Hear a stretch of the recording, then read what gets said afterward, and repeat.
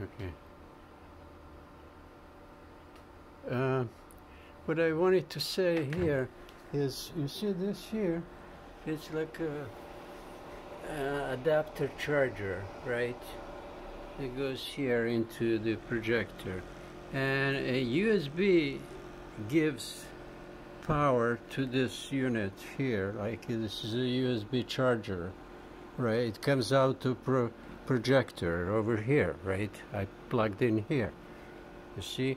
And on it, I have plugged, you know, like uh, half a terabyte. Um, you can see here. You see external storage. I have over here, I have my mouse. Here is a mouse, right? That's uh, over here. Right, my mouse, you see? Mouse that uh, is, you see playing over there. See, it's a mouse. Okay, it's a mouse. Okay, so that's enough. So this, the other thing plugged here, it's uh, USB, but it's not powered on. You know, it's not powered on, but it gives it's a, a Wi-Fi adapter. This is for Microsoft, for Windows, right? when I plug my desktop, uh, small mini desktop, right? When I power over there, and then I connect, it is connected to this projector, and then I project over here on 120 inch, right, screen. That, uh, and then I use USB.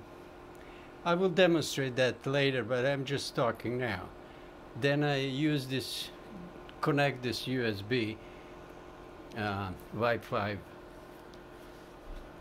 Here is a, here is the USB, but here is a HDMI, right? It's HDMI connection here, Wi-Fi for Windows. And then I connect, and then I have a two monitors. One is from the, for the desktop, and one comes from the Wi-Fi from the Wemax little projector, right?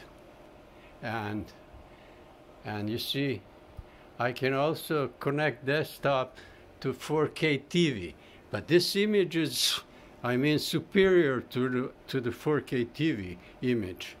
Definitely, I mean, you know, because I mean, I, I don't know.